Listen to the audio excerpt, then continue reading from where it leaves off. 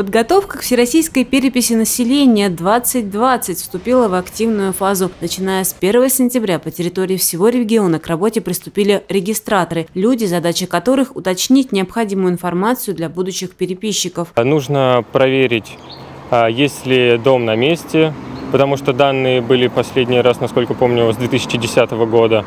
То есть, возможно, дома сгорели. Бывает такое, что много людей прописано в этом доме, но там уже не проживают или просто куда-то уехали.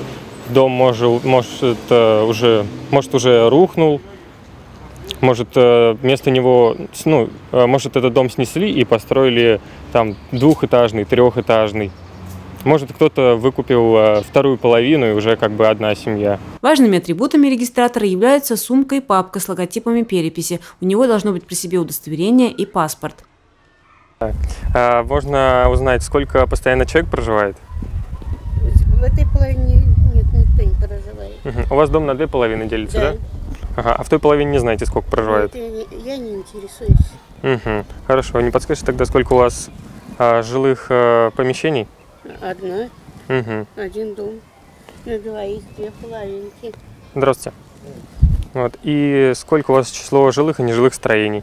Ни один из этих вопросов без внимания регистраторов не должен остаться. Именно на основании собранных данных будут сформированы участки. Чем качественнее свою работу сделать регистратором, тем легче будет уже во время всероссийской переписи. Дальше мы вносим все изменения, которые собрали регистраторы в нашу специальную программу. Это автоматизированная система переписи населения. И мы будем делать уже участки э, к переписи населения, то есть для переписчиков участки. Нагрузка у них будет 550 человек. И над переписчиками еще будут руководители, инструкторы которые тоже нам нужно разделить, чтобы у каждого инструктора была своя нагрузка, и они сидели все компактно и работали по тому участку, где будут ходить переписчики.